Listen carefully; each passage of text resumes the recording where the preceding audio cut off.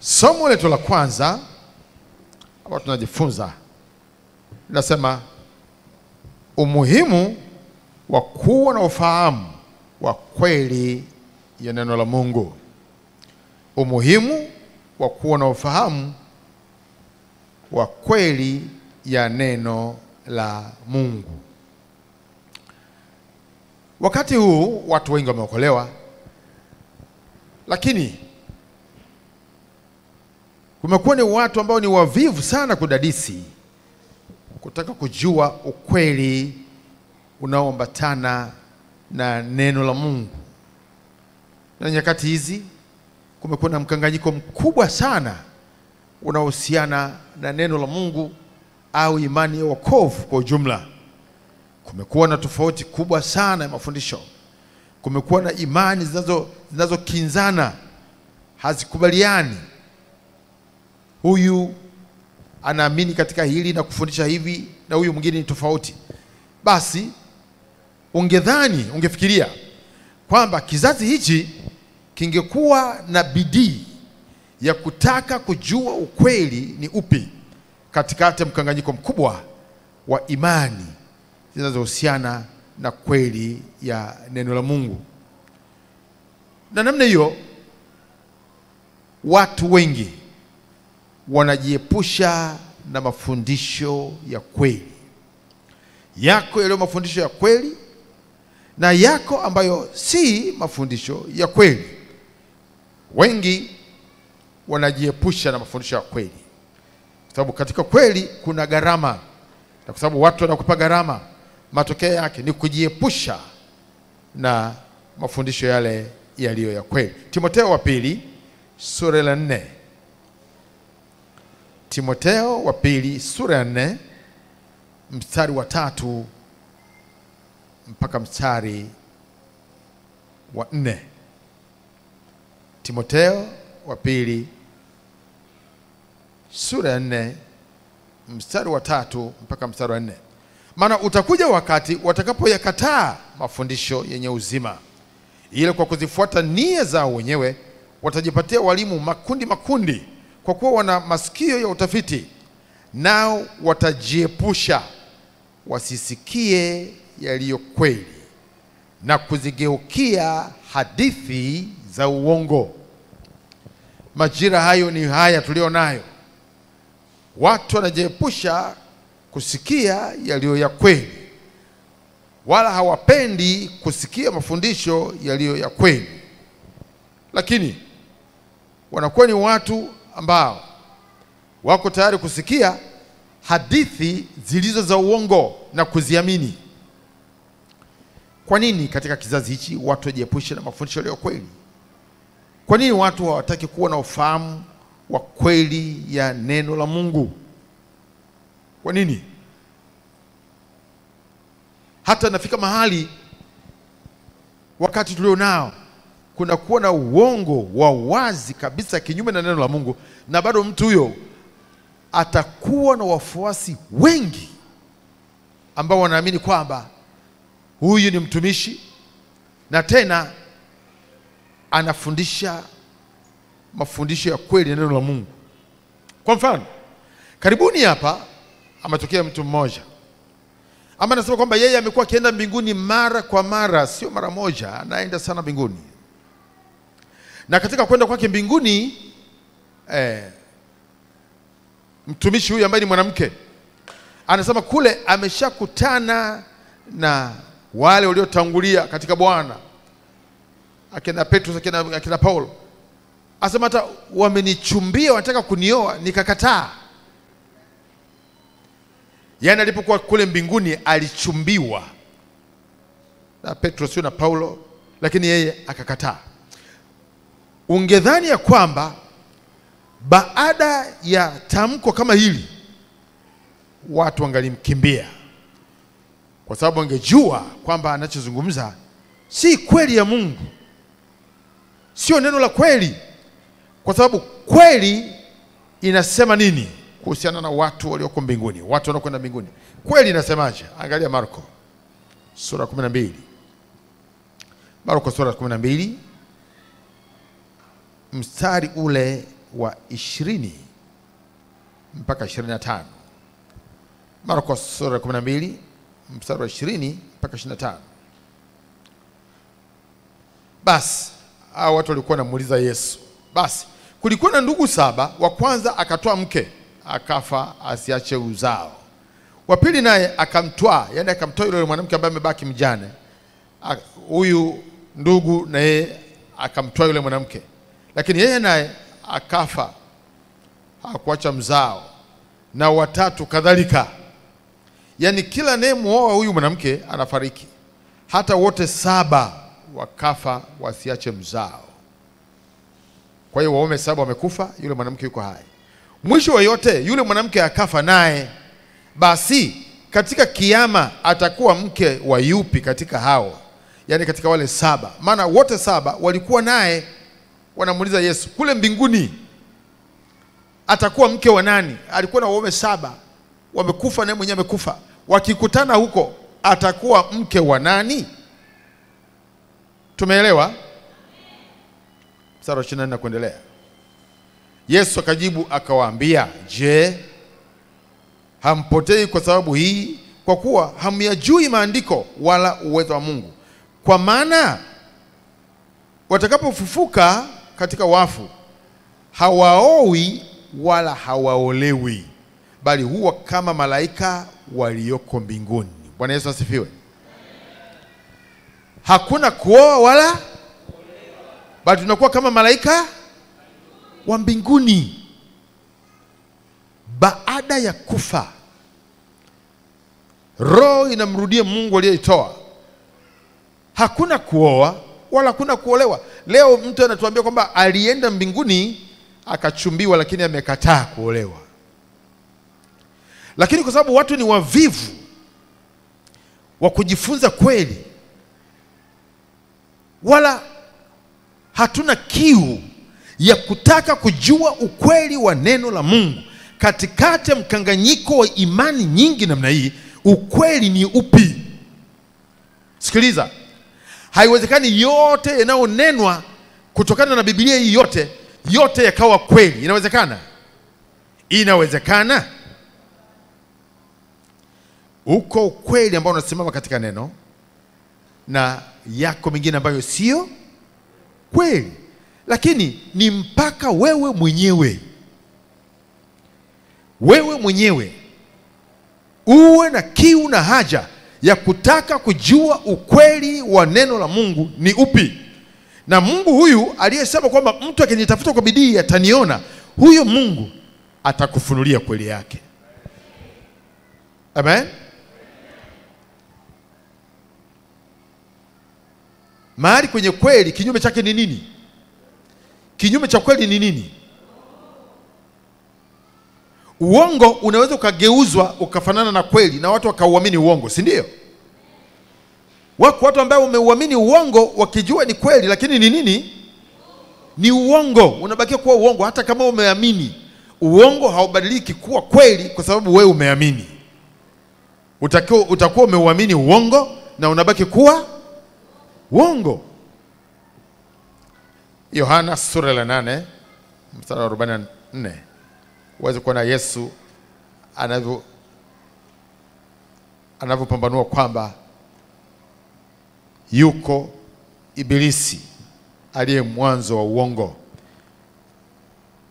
Yohana sura nane mstari wa arobaini na nne ninyi ni wa baba yenu Ibilisi na tamaa za baba yenu ndizo mpendazo kuzitenda.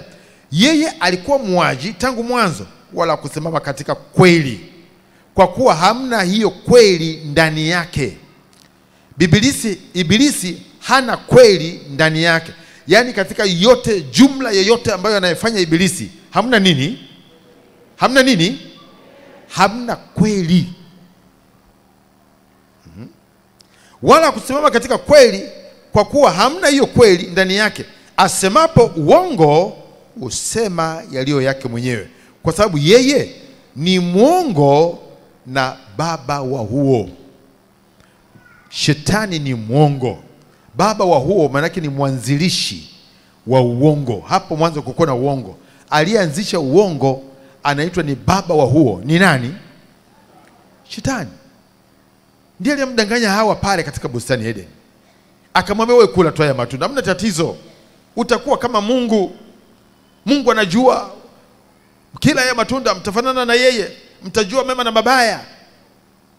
Ule ulikuwa ni uongo, na wakadanganywa, wakadanganyika, wakala matunda yale. Hakuna cha kufanana na Mungu wala kuwa kama Mungu, sana sana lile neno la kweli la Mungu kwamba wakila watakufa hakika, ikatimia neno lile. Kwa hiyo uko upande ambao una uongo, na baba wa huo ni nani? Ni Shetani.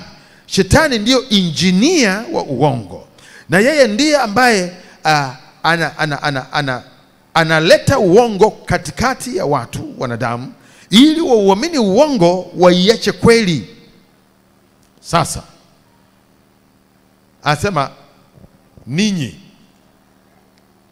ninyi ni wa baba yenu Ibilisi. Kwa hiyo hawa wanakuwa ni watoto wa Shetani. Nyuma yao kuna roho ya Shetani, ndani yao wana roho ya Shetani ambayo ya kuleta uongo. Kwa hiyo wanaleta mafundisho ya uongo, wanaleta maneno ya uongo, na watu wanayapokea maneno yote wanayopokea, wanayoyasikia pasipo kupambanua, kutaka kujua kwamba katika neno hili ukweli ni upi. Wewe mtu wa Mungu, ikiwa unataka kufanikiwa na kuziingia mbingu, lazima uwe ni mtu ambaye daima unakaa katika ukweli. Simama katika ukweli, liishi neno lililo la kweli, litumikie neno la kweli. Sasa huwezi kulithibitisha hilo, lazima ujue ukweli na kutokea katika ukweli uweze kuupambanua na uongo. Amen, kwa sababu usipojua ukaukumbatia uongo, utakuwa tayari umeshapotea tangu mwanzo katika msingi wa imani ulionayo. Maana huyu Mungu tunayemwabudu tunamwabudu katika roho na kweli. Kwa hiyo ukikosea kidogo utakuwa unaabudu katika roho na uongo. Ndio maana yake. Leo wako watu ambao wanaabudu katika roho lakini ya uongo. Wao nafsini mwao wanajua wanamwabudu nani? Mungu. Ndio maana ni muhimu sana kulielewa hilo. Yohana sura la 4 mstari 23 mpaka 24. Yohana sura ya 4 mstari 23 mpaka 24. Lakini saa inakuja, huyo ni Yesu anaeleza. Lakini saa inakuja nayo sasa ipo, ambayo waabuduo halisi watamwabudu Baba katika roho na kweli, kwa maana Baba awatafuta watu kama hao wamwabudu.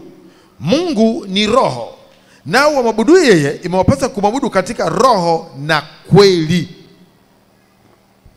Mungu huyu lazima aabudiwe katika roho na kweli. Kwa hiyo ukikosea tangu mwanzo ukaanza kuabudu katika roho na uongo, hutafika katika lile ambalo ulikuwa unalitarajia.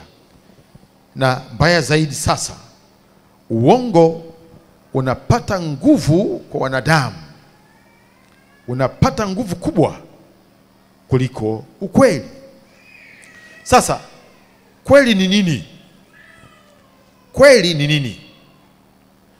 Kila mmoja katika jambo analolifanya au katika imani aliyonayo, haijalishi madhehebu mbalimbali, imani mbalimbali, wakati mwingine hata kwa kuangalia labda makanisa, imani zao, kila mmoja mahali alipo anaamini ya kwamba yuko katika imani ya kweli, si ndio? Ndio maana yeyote yule ukimfata ukimwambia neno la Mungu linasema hivi na hivi, alafu ikawa tofauti na kile ambacho yeye amepandikiziwa anachokiamini na kukiishi miaka yote, anakuona wewe ni mwongo, umepotea, lakini yeye ndiye yuko katika kweli.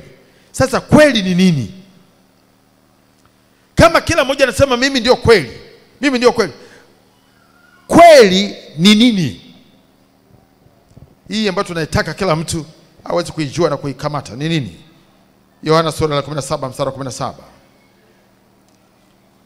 Yohana sura ya 17 na mstari wa 17.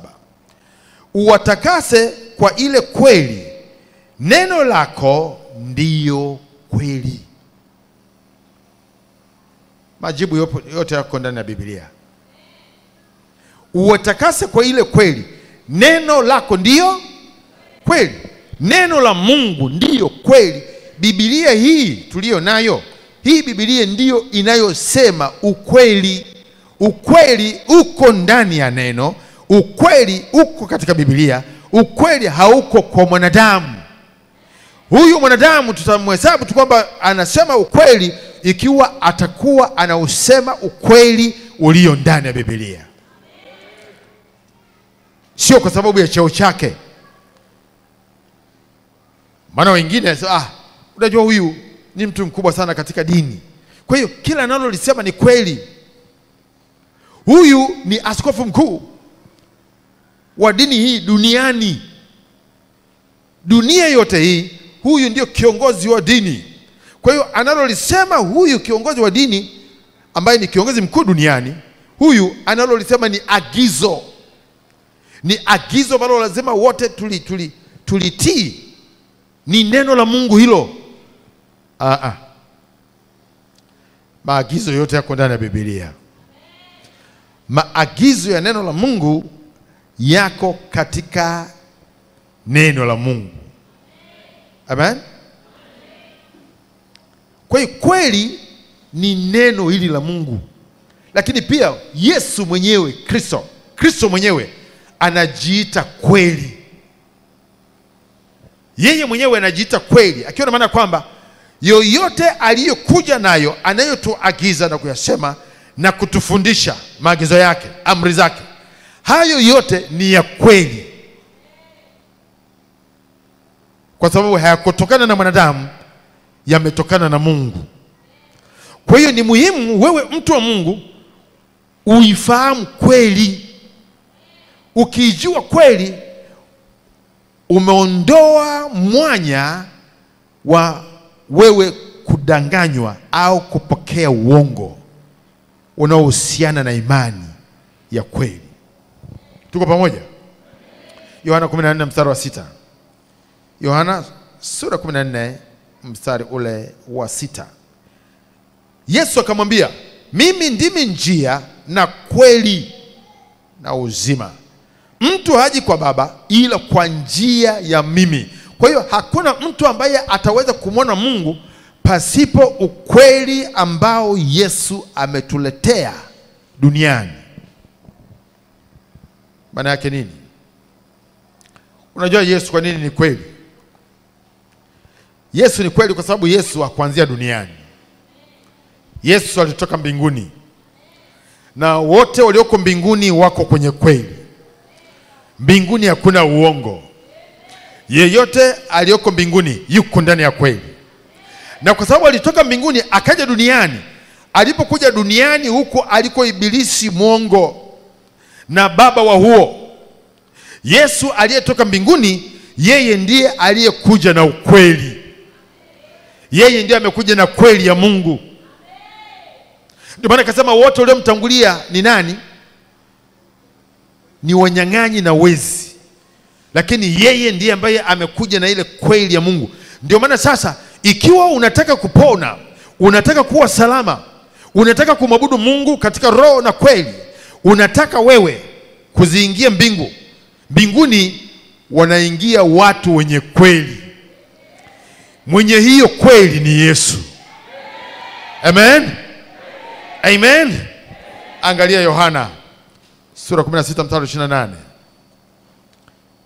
Lazima uwe mwangalifu sana. Yohana 16 mstari wa 28. Sikiliza maneno ya Yesu mwenyewe, asema nalitoka kwa Baba nami nimekuja hapa ulimwenguni, tena na uacha ulimwengu na kwenda kwa Baba. Wapi huko? Wapi huko? mbinguni. Yesu yuko hapa sasa hivi, yuko mbinguni. Maandiko yanasema ameketi mkono kuume wa Mungu Baba, anasema nimetoka kwa Baba. Yesu kuanzia duniani, Yesu alikuwako hata kabla ulimwengu haujaumbwa, lakini akatoka kule akaja hapa duniani katika ulimwengu ili kutuletea kweli.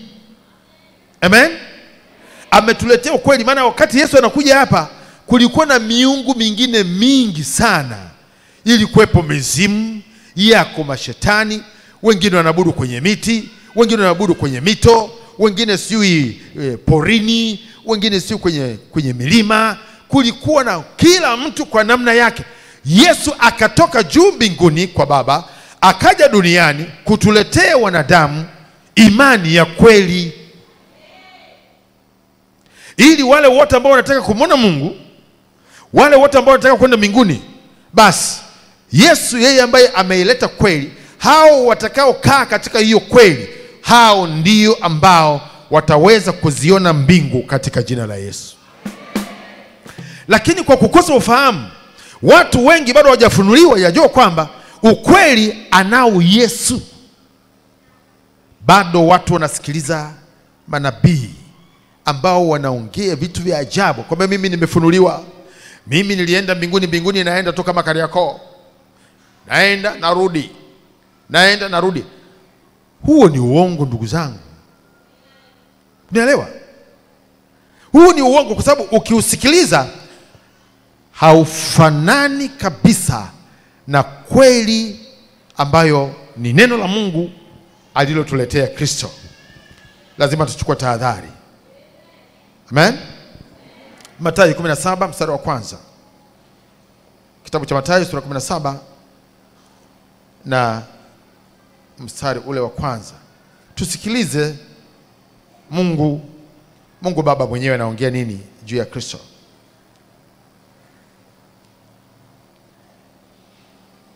Mathayo sura ile ya 17 mstari wa kwanza mpaka wa tano mstari wa saba mpaka wa tano. Na baada ya siku sita Yesu akawatoa Petro na Yakobo na Yohana nduguye, akawaleta juu ya mlima mrefu faragani. Akageuka sura yake mbele yao, uso wake ukang'aa kama jua, mavazi yake yakawa meupe kama nuru. Na tazama, wakatokewa na Musa na Eliya wakizungumza naye. Petro akajibu akamwambia Yesu, Bwana, ni vizuri sisi kuwapo hapa. Ukitaka nitafanya hapa vibanda vitatu, kimoja chako wewe na kimoja cha Musa na kimoja cha Eliya. Alipokuwa katika kusema, tazama, wingu jeupe likawatia uvuli, na tazama, sauti ikatoka katika lile wingu ikasema, huyu ni mwanangu mpendwa wangu, ninayependezwa naye, msikieni yeye, msikieni yeye. Sikiliza, Mungu kwa ushahidi mwingi. Anasema tumsikilize nani? Tumsikilize nani? Tumsikilize Yesu.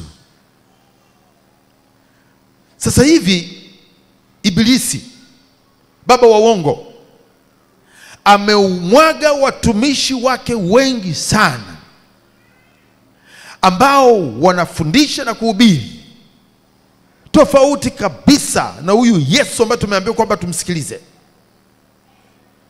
na ndio maana unaweza kuona watu wengi wanapata shida na matatizo kwa sababu ya kushika uongo badala ya kweli. Huu ni wakati wa kukaa katika kweli. Unataka kuwa salama, unataka kuwa salama, kaa mahali panafundishwa kweli. Mahali panapofundishwa panapofundishwa kweli, hapo mahali yuko Mungu, yuko Yesu. Yesu ndiyo kweli, na hata hiyo kweli aliyo nayo yeye, naye alitumwa tu, alitumwa na Mungu ailete hiyo kweli.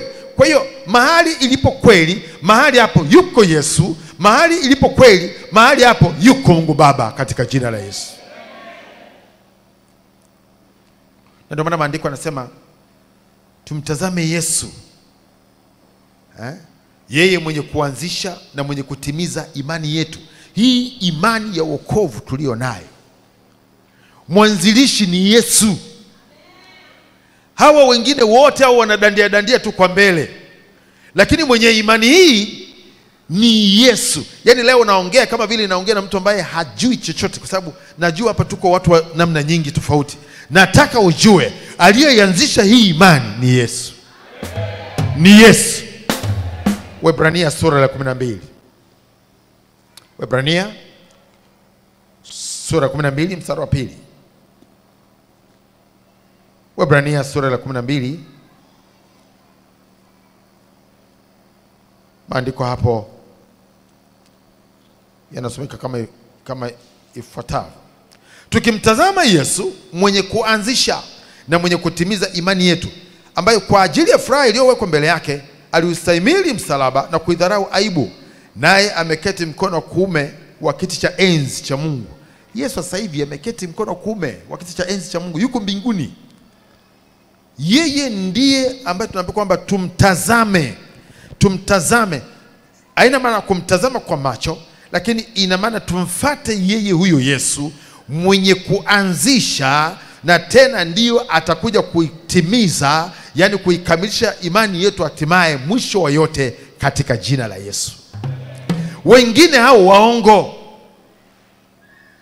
Ndio maana wakati huu mahala popote pale ambapo unaketi kusikiliza neno la Mungu, lazima ulithibitishe kwamba hilo neno la Mungu ambalo linahubiriwa, linafundishwa ni neno la kweli, kwa sababu ndivyo maandiko yanavyonena. Kinyume cha hapo, ambao unajua, huu ni ufunuo, huu ni ufunuo. Mimi nilienda mbinguni, nilipokwenda kule mbinguni, Mungu amenipa ufunuo mpya. Kwa hiyo ufunuo nimekuja nao, nilikuwa mbinguni juzi. Ujua hiyo ni feki. Hiyo ni nini? Huo ni uongo. Hakuna ufunuo mwingine mpya. Mungu alishaeleza mambo yote katika Biblia, na ndio maana akasema mtu asiongeze wala asipunguze. Hakuna kilichopungua kwenye Biblia. Mafundisho yote neno la Mungu ya msingi yamekwisha kufundishwa, na sisi sehemu yetu ni kuonyesha kwamba tunaijua kweli na kukaa katika hiyo kweli. Amen. Kinyume cha hapo itakuwa ni hatari. Kwa hiyo kweli ni neno, kweli ni neno. Ndio maana Yesu anasema kwamba mtu anayenipenda alishike neno. Ukilishika neno, umeishika kweli, umeishika kweli ya Mungu, uko salama. Ukiliacha neno, umeiacha kweli, na ukiiacha kweli, ina maana sasa umeshika uongo. Tuko pamoja? Tuko pamoja? Yohana sura ile ya kumi na nne mstari wa ishirini na tatu mpaka ishirini na nne Yohana sura ya kumi na nne mstari wa ishirini na tatu mpaka mstari ule wa ishirini na nne Yesu akajibu akamwambia, mtu akinipenda atalishika neno langu. Mtu anayempenda Yesu atashika nini? Atashika nini? Eh, maana wengi hapo kuuliza unampenda Yesu? Eh, ninampenda sana, ninampenda sana. Kipimo cha kumpenda Yesu ni nini? Ni nini? Na hilo neno ni nini? Kweli. Yesu kajibu akamwambia, mtu akinipenda atalishika neno langu, na Baba yangu atampenda, nasi tutakuja kwake na kufanya makao kwake. Umelishika neno, ukilishika neno umeishika kweli. Ukiishika kweli, utapendwa na Yesu, utapendwa na Baba, watakuja kwako, wataweka makao kwako, kwa sababu wewe unakuwa ni mtu wa kweli. Mstari wa 24 Mtu asiyenipenda yeye hayashiki maneno yangu, nalo neno mnalolisikia silo langu, ila ni neno lake Baba aliyenipeleka. Bwana Yesu asifiwe. Kwa hiyo kumbe maneno ya Yesu, Yesu yeye naye yale maneno alikuwa anapewa na baba yake. Neno nalolisikia silo langu, bali ni neno la Baba aliyenipeleka. Ndio maana anasema hivi, anikatae mimi anamkataa nani? Anamkataa Baba, kwa sababu lile neno yeye amepewa. Ukilikataa neno lake Yesu, hujamkataa Yesu tu, lakini umemkataa na baba yake. Ukiikataa kweli, ukiikataa kweli, umemkataa Yesu, umemkataa Baba. Hiyo ndiyo tafsiri yake iliyo nyepesi. Kwa hiyo kwa ufafanuzi zaidi, maana yake ni nini?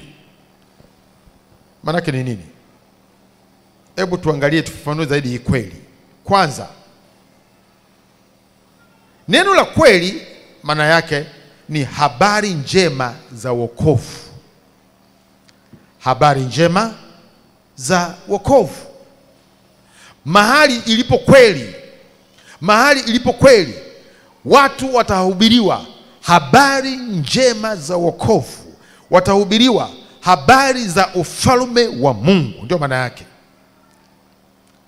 habari za ufalme wa Mungu. E, wakati mwingine kusema kwamba habari za ufalme wa Mungu, unaweza ukasema kwamba habari za ufalme wa Mungu, yaani tutakuwa tunaelezwa habari zake Mungu kule mbinguni, na sisi tunawezaje kufika huko mbinguni kwa Baba. Amen. Hiyo ndio maana yake.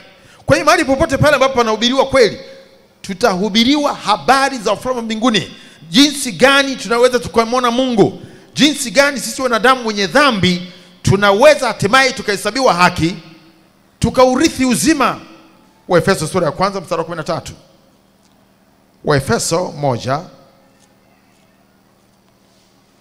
sura la kwanza ya Waefeso na mstari ule wa kumi na tatu. Nanyi pia katika huyo mmekwisha kulisikia neno la kweli. Eh, neno gani la kweli? Habari njema za wokovu wenu. Tena mmekwisha kumwamini yeye na kutiwa muhuri na Roho yule wa ahadi aliye mtakatifu. Mmekwisha kulisikia neno la kweli, habari njema za wokovu. Ukikaa mahali hapahubiriwi wokovu,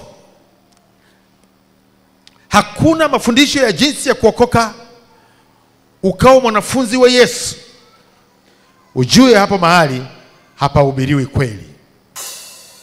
Amen.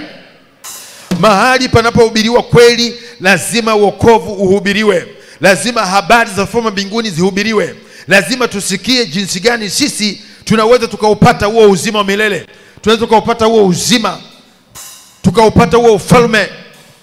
Mahali hapo jue panahubiriwa kweli. Alama ya kwanza hiyo ni alama ya kwanza. Mathayo sura ya 4 mstari wa 17. Mathayo sura ile ya 4 na mstari wa 17, tuione huduma yake Yesu mwenyewe alikuwa anahubiri hivyo. Mathayo 4:17. Tokea wakati huo Yesu alianza kuhubiri na kusema, tubuni kwa maana ufalme wa mbinguni umekaribia. Haleluya! Tubuni kwa maana ufalme wa mbinguni umekaribia. Hizo ni habari njema za wokovu. Hakuna namna ambayo mtu atahubiriwa wokovu na aupate wokovu au aweze eh, kupata uzima wa milele pasipo kuongozwa na neno litakalompeleka kwenye toba. Maana wanadamu sisi wenye dhambi na dhambi zetu zimetutenga na Mungu, hatuna sifa mbele za Mungu. Kwa hiyo Yesu anakuja na kweli. Yesu aliye kweli anaanza kuwaeleza watu jinsi gani wanaweza kurudishiwa tena uhusiano uhusiano wao na Mungu ukarudi tena kama mwanzo. Wanadamu wanaambiwa tutubu, ufalme wa mbinguni umekaribia. Hatuwezi kuwa na sifa ya kuingia na kuona ufalme huo ikiwa tutaendelea kuishi maisha ya dhambi. Lazima tutubu. Amen. Ukifika mahali pa namna hiyo, ujue hapo mahali panahubiriwa kweli, hapo panahubiriwa kweli. Bwana Yesu asifiwe sana. Umuhimu wa kuwa na ufahamu wa kweli ya neno la Mungu. Lakini namba mbili, namba mbili, kweli tumeona ni Yesu Kristo mwenyewe pale katika Yohana sura ya 14 mstari wa sita mimi ndimi njia, kweli na uzima. Tunaweza kuona hapo kweli ni Yesu mwenyewe. Kwa hiyo mahali hapawezi kuhubiriwa kweli, pakafundishwa kweli, pakawa ni mahali pa kweli kama anayehubiriwa si Yesu Kristo mwenyewe. Kwa hiyo mahali pa kweli patakuwa na mafundisho ya kweli, atakaye kuwa nahubiriwa hapo atakuwa ni Kristo Yesu mwenyewe. Hakutakuwa na mafundisho ya mtu kujihubiri mwenyewe, kuhubiri habari zake mwenyewe, kutuletea habari sio za watu wengine, sio za wapi, za Ulaya, sio Amerika, kutuletea sio hadithi, sio mambo gani, sio na nini. Ah, mahali palipo na kweli, anayehubiriwa ni Kristo, anayehubiriwa ni Kristo. Amen. Tutakuwa tunahubiriwa habari za Yesu ambaye sisi wote, yeye kama mwanzilishi wa imani yetu, tutakuwa tunajifunza tabia zake, na sisi tuwe na tabia kama Kristo alivyokuwa, tuwe na mwenendo kama wa Kristo Yesu ulivyokuwa, tuwe na utumishi kama wa Yesu Kristo alivyokuwa. Yaani kila kitu sisi ni kama Yesu, maana sisi ni wanafunzi wa nani? Wanafunzi wa nani? Sisi wanafunzi wa Yesu. Kwa hiyo hatuwezi kuwa wanafunzi wa Yesu kama hatuhubiriwi Kristo au hahubiriwi Yesu katika makusanyiko yetu. Wakorinto wa kwanza sura ya kwanza mstari wa 23. Wakorinto wa kwanza sura ya kwanza na mstari wa ishirini na tatu. Bali sisi tunamhubiri Kristo aliyesulubiwa, kwa Wayahudi ni kikwazo na kwa Yunani ni upuuzi. Hawa ni mitume. Mitume walijipambanua kwamba wao katika utumishi wao walikuwa wanamhubiri nani? Wanamhubiri nani? Kristo. Hata hubiriwa mtu mwingine, hata hubiriwa Maria, hata hubiriwa Petro, hata hubiriwa hapo Yohana. Hao wengine wote sio waanzilishi wa imani yetu. Anayehubiriwa ni nani? Ni Kristo. Ukiona mahali anayehubiriwa sio Kristo, watu wanajihubiri wenyewe, wanajihubiri wenyewe, wanahubiri mambo yao, wanahubiri ustawi wao na mafanikio yao, wanahubiri habari za duniani eh? Wako wengine ambao wao kazi yao ni kuhubiri habari za duniani, habari za matatizo ya watu, habari si utakula nini, si hawamhubiri Kristo ambaye wakati huu yuko juu mbinguni, amekwenda kutuandalia makao. Tunasubiri kurudi kwake hapa aje kutuchukua, ili pale alipo amesema, na wale wamwaminio watapata kuwapo hapo katika jina la Yesu. Huyo ndiye wa kuhubiriwa, huyo ndiye wa kuhubiriwa, maana huyo ndio anayesubiriwa. Tunamtarajia yeye kuja, tutamhubiri huyo wakati huu duniani katika jina la Yesu. Amen. Mambo mengine yote yanapita, dunia na mambo yake yanapita, lakini maneno ya Mungu yapiti, na maneno hayo ni kweli, na kweli huyu ni Kristo. Kristo Yesu, yeye hapiti, yeye ni wa milele, alikuwako, yuko na atakuwako milele katika jina la Yesu. Yeye ndiyo anayehubiriwa. Ukiona mahali hahubiriwi Kristo, mahali hapo hakuna kweli. Mahali kwenye kweli ya Mungu anahubiriwa nani? Anahubiriwa Kristo. Angalia tena Wakorinto wa pili sura ya 4 mstari wa tano. Wakorinto wa pili sura ya 4 na mstari wa tano. Kwa maana hatujihubiri wenyewe, bali Kristo Yesu ya kuwa ni Bwana, na sisi wenyewe kuwa tu watumishi wenu kwa ajili ya Yesu. Hatujihubiri wenyewe, tunamhubiri nani? Tunamhubiri nani? Unataka kusikia habari za nani? Unapenda kusikia habari za nani? Hatuhubiri habari za watu hapa. Oh, unajua mimi eh, nimesoma sana, nimeenda sio mpaka Marekani. Unajua mimi, unajua mimi. toka hapa, tutataka kusikia habari zako. Tunataka kusikia habari za Yesu, tunataka kusikia habari za juu. Usituletee hadithi zako hapa, kwani Marekani ni mbinguni? Si wamejaa mashoga tu huko, unatueleza habari za mahali walikojaa mashoga, unatuletea. Tunataka habari za mahali ambako wako watakatifu wa Bwana. Amen. Maana na sisi tunataka kufika huko, si ndio jamani? Lakini sio hilo tu. Pointi, pointi ya tatu, kweli au mahali panapohubiriwa kweli na kufundishwa kweli, ambayo takiwa ufahamu ni mahali ambapo panafundishwa neno la Mungu lisilogoshiwa eh? Neno la Mungu lisilogoshiwa, yaani neno la Mungu halichanganywi changanywi tena na mawazo ya wanadamu, halichanganywi tena na vitu vingine. Ah, ah. Neno la Mungu linafundishwa kama lilivyo katika Biblia. Hapo mahali panafundishwa kweli, panahubiriwa kweli. Amen. Neno la Mungu linahubiriwa kama lilivyo, kama yanenavyo maandiko. Sisi hatupindishi kulia wala kushoto.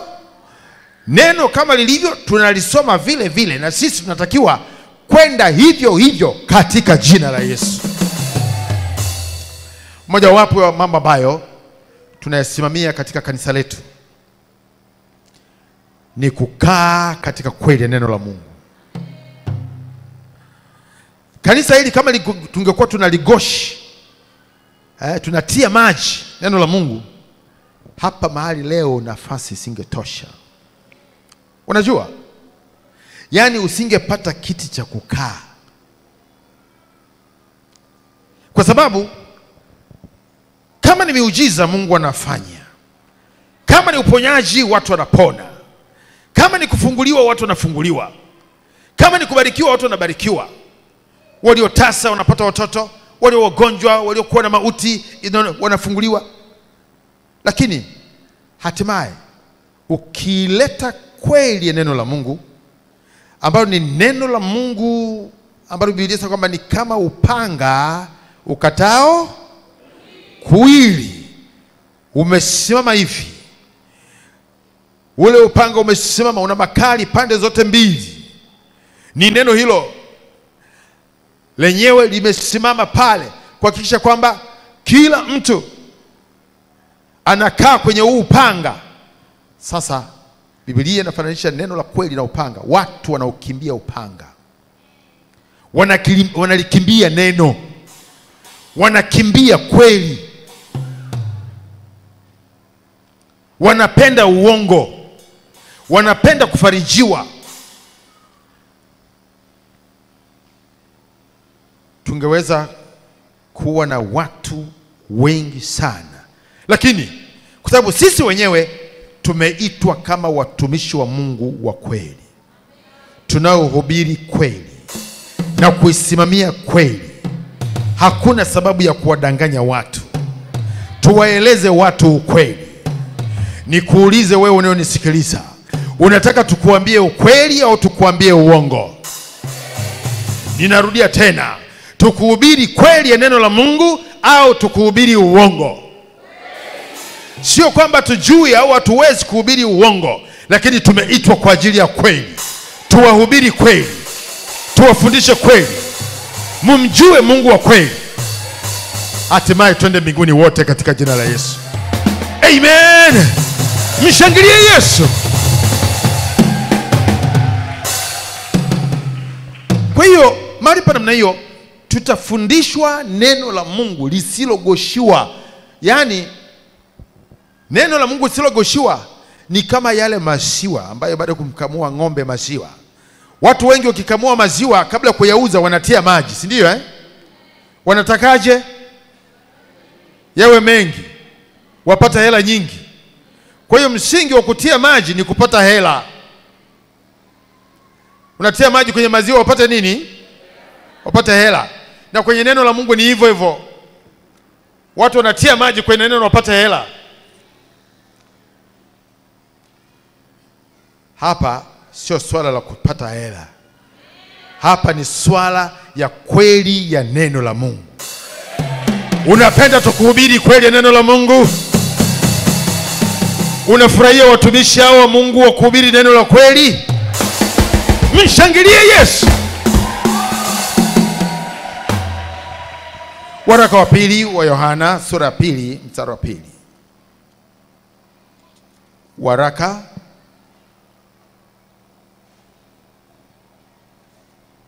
waraka wa kwanza samani, ni waraka wa kwanza, waraka wa kwanza wa Yohana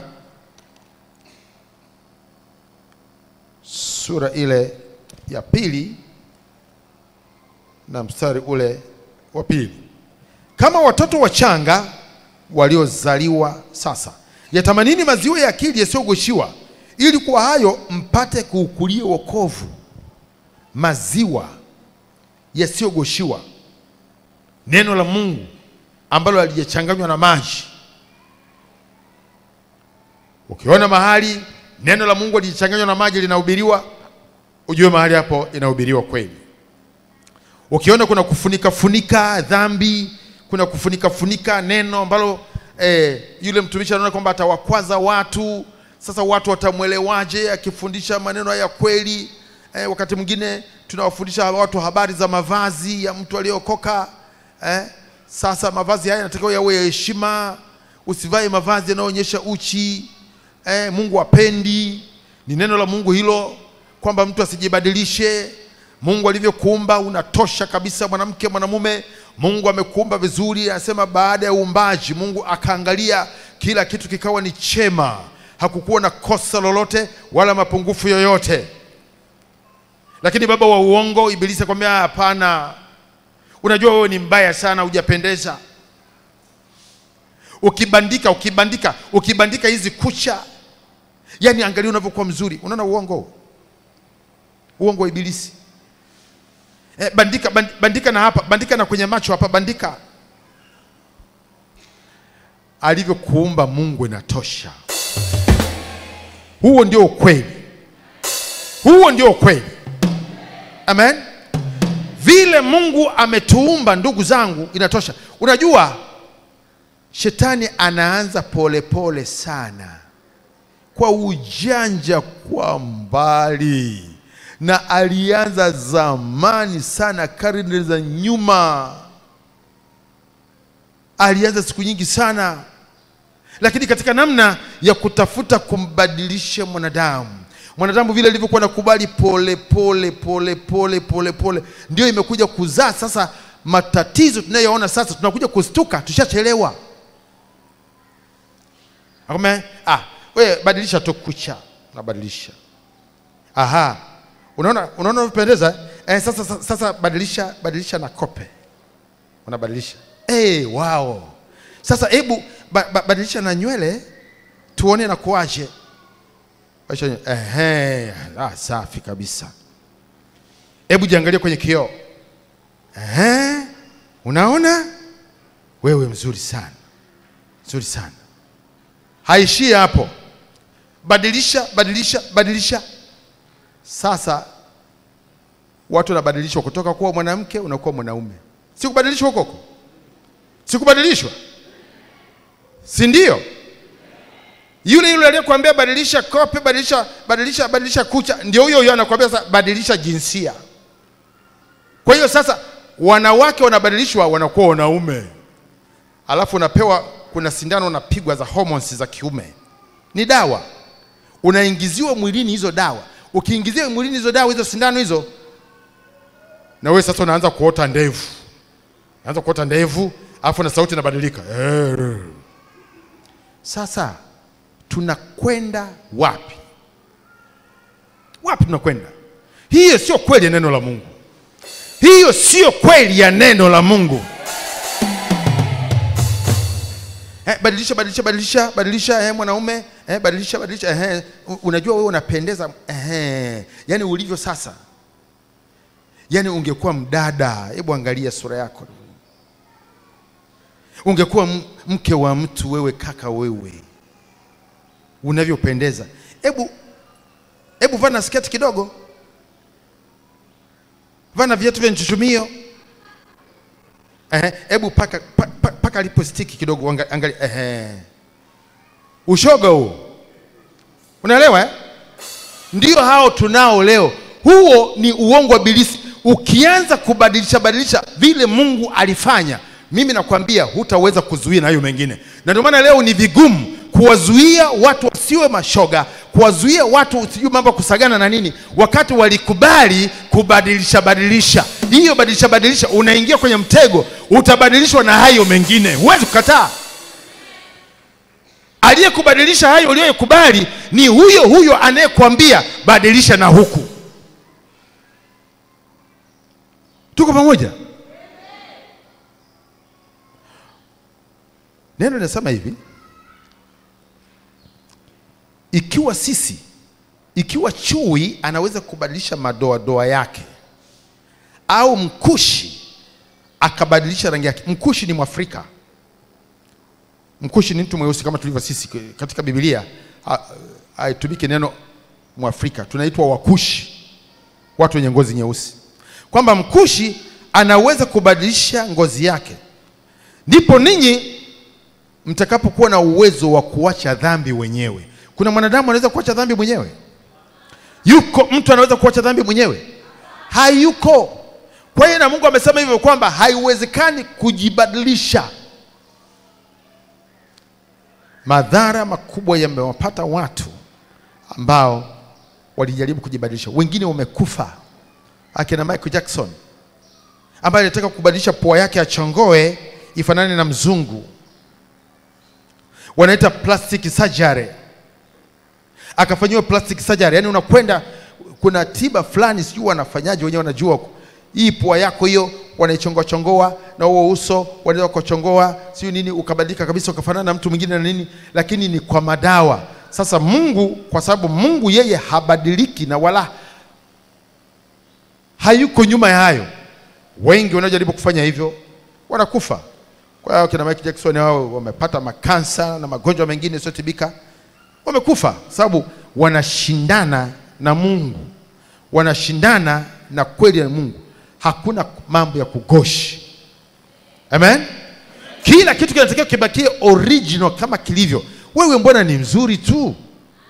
Aliyekuambia wewe ni mbaya ni nani? Unajua shetani anaweza akakujaza upuuzi na ujinga, na ikafika mahali ukaanza kukosa kujiamini, ukasema eti kweli mimi watu wanasema eti mimi ni mbaya. Na wajaribu kumwambia kumwambia mtu wewe unafikiri mzuri wewe?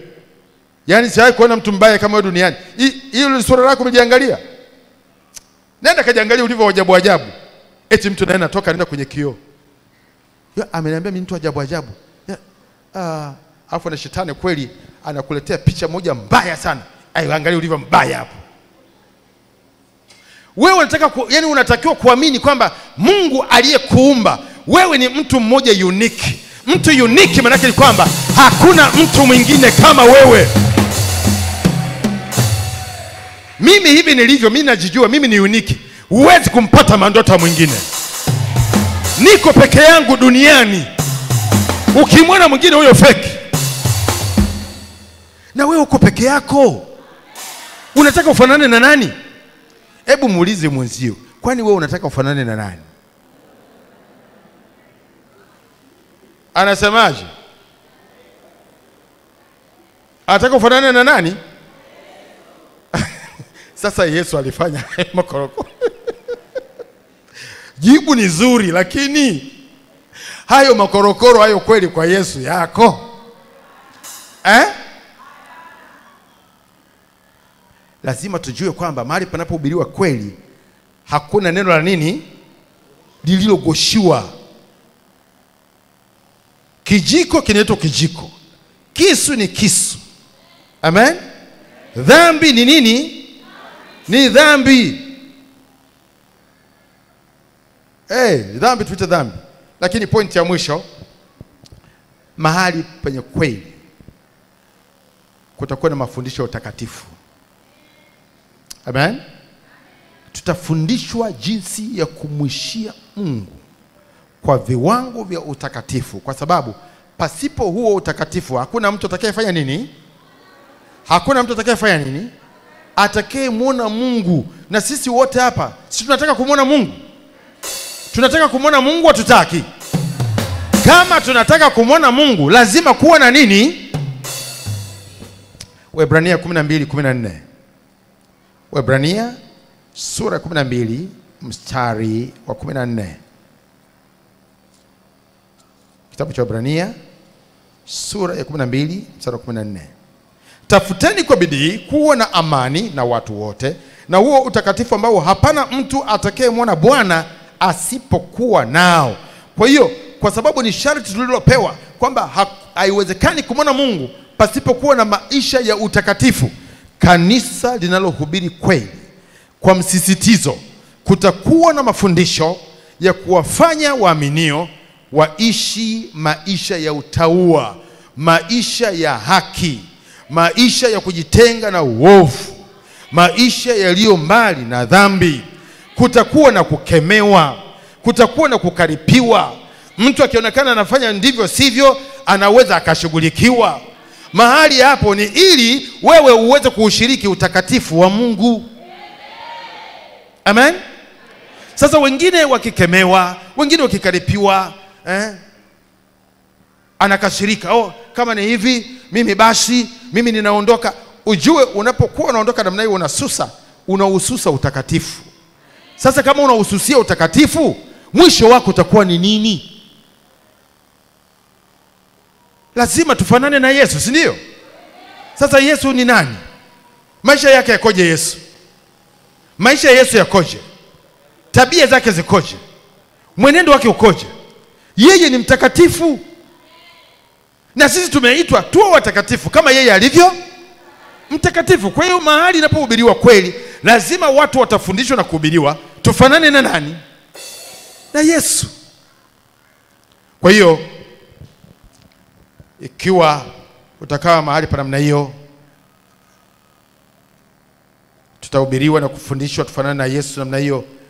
Utakatifu ndio ambao tumeitiwa sisi wote tuweze kuwa watakatifu.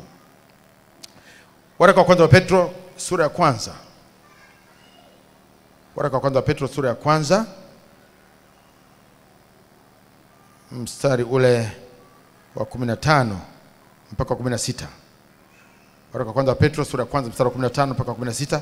Bali kama yeye aliyewaita alivyo mtakatifu, ninyi nanyi iweni watakatifu katika mwenendo wenu wote, kwa maana imeandikwa, mtakuwa watakatifu kwa kuwa mimi ni mtakatifu. Bwana Yesu asifiwe.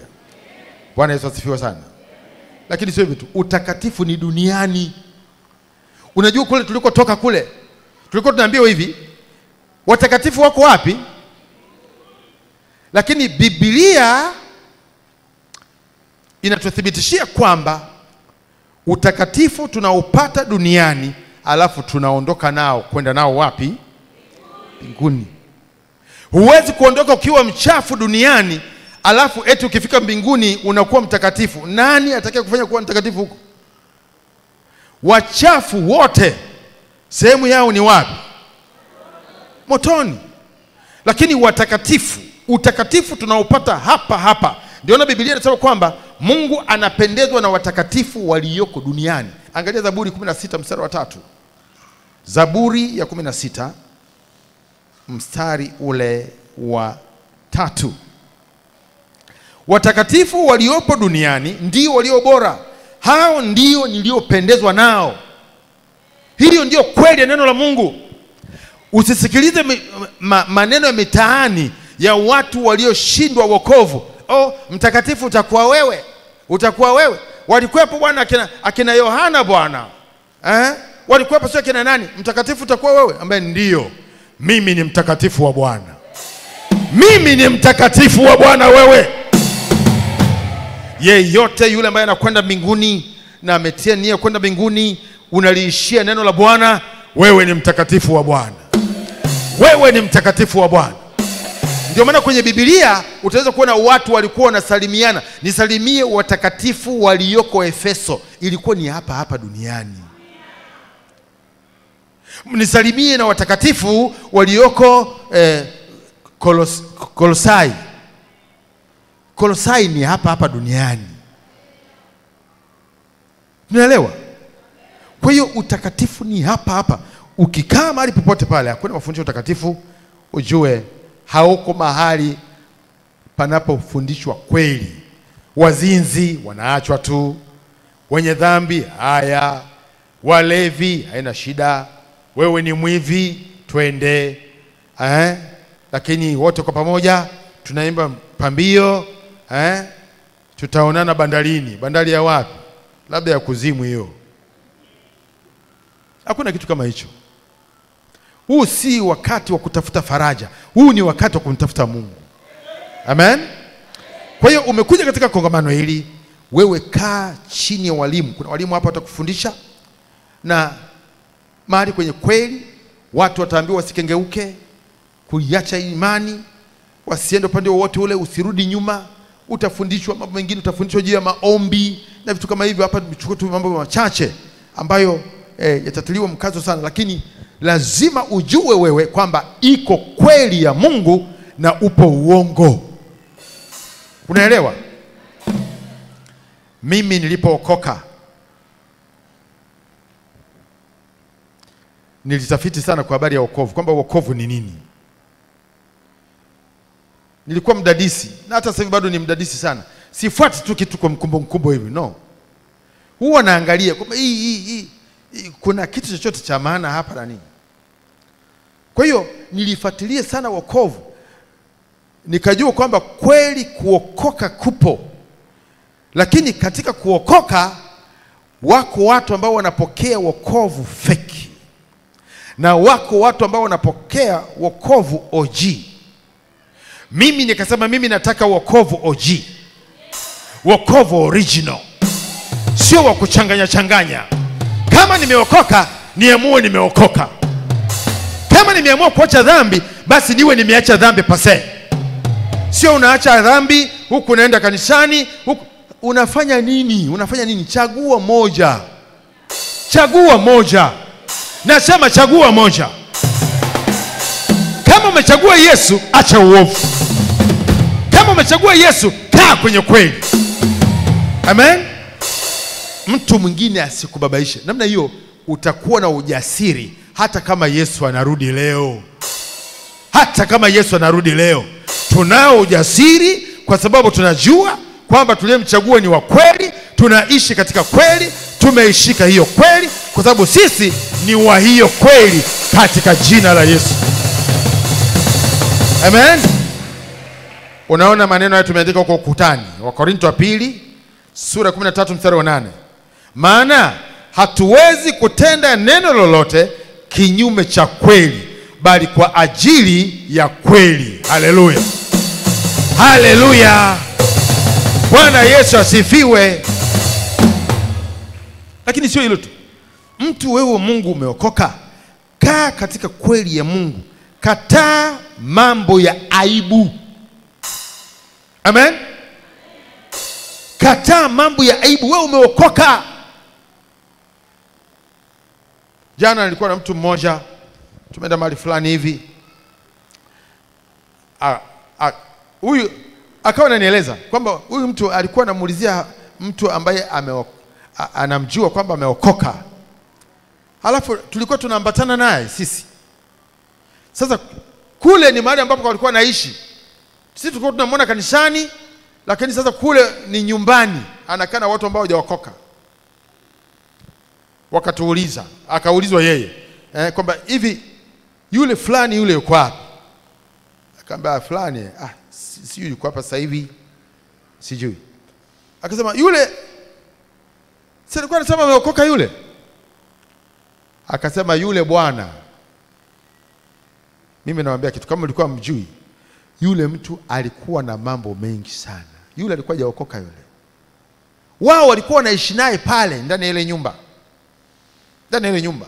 Sisi tulikuwa tunamwona kanisani kama hivi, tunakutana hapa, tunaachana hapa hakuna mtu anaelewa mambo nyumbani kwako, lakini watu wa mtaani kwako, watu wa mtaani kwangu wanajua kama mimi nimeokoka kweli katika neno la kweli au nimeokoka katika neno lililo la uongo. Ndio anasema hivi, ukiamua kuokoka wewe okoka kweli, okoka kweli, okoka kweli. Watu wa mtaani hawaijui Biblia, lakini wanamjua mtu aliyeokoka kweli. Wakasema yule hamna kitu, yule alikuwa hajaokoka kweli yule. Kwa nini? Huyu mtu alikuwa bado anayashiriki mambo ya aibu. Wakorinto wa pili sura nne 4 mstari wa pili. Wakorinto wa pili sura 4 na mstari ule wa pili. Lakini tumekataa mambo ya aibu yaliyositirika, wala hatuenendi kwa hila, wala kulichanganya neno la Mungu na uongo, bali kwa kuidhihirisha iliyo kweli, twajionyesha kuwa na haki, dhamiri za watu zikitushuhudia mbele za Mungu. Haleluya, haleluya! Dhamiri za watu wengine ambao hata hatajaokoka zikitushuhudia mbele za Mungu kwamba sisi tumefanya nini? Tumefanya nini? Tumeokoka. Bwana Yesu asifiwe. Wangapi mmeokoka humu ndani? Mahali pale ulipo, simama juu, simama juu, simama juu.